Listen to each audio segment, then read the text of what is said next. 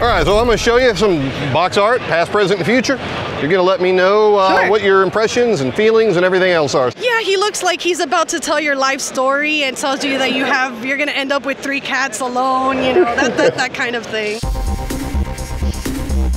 A lot of times, all you had to go on was the box art. And it tells the story of the game from just an image. And it really made you think, oh man, what's this game about? What's this game about? Who are the people that did this work and who- what were they thinking about the work? I was doing like Transformer box covers and Voltron. Started out drawing pictures on the black top. I worked mainly on doing graphics. My history really starts with the drawing of type. Early on, there was almost absolutely no relationship between what you put on the cover and what you could actually do in the game. haunted house.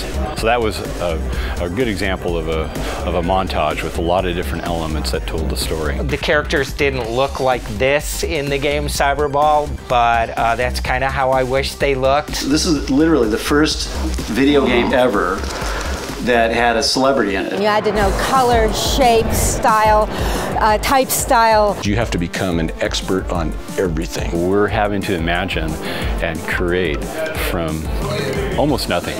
So when you plug that thing into your game, you already had a story in mind. I send the illustration back to these guys, thinking, you know, I felt really good about it.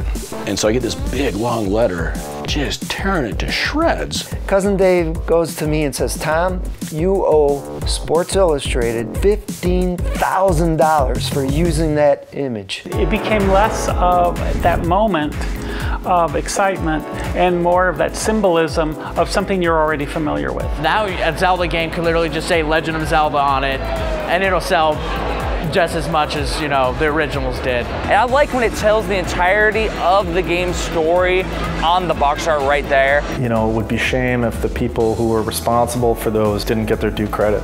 we just were having fun. And we never thought of it as having any kind of legacy. Would this be a poster you put up on your wall? No. No? I feel like the Dracula would haunt my dreams. I'm good. I'm, I'll pass on that.